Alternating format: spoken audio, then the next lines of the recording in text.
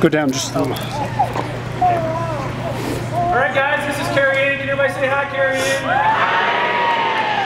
Uh, Carrie, Carryanne and myself, along with other uh, Trace members and team members, have been talking with her about this decision for a while now. And as uh, Wade said earlier, there's always a story behind every person.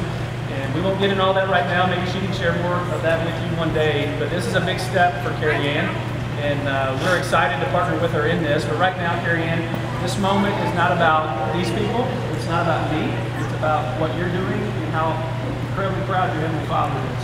And so I'm going to ask you the most important question of your life. Do you believe that Jesus is the Christ, the Son of the living God, and your personal Lord and Savior? Okay, repeat after me. I believe with all my heart that Jesus is the Christ, the Son of the living God, and my personal Lord and Savior. Based on your confession of faith, I'll now baptize you in the Father, Son, and Holy Spirit.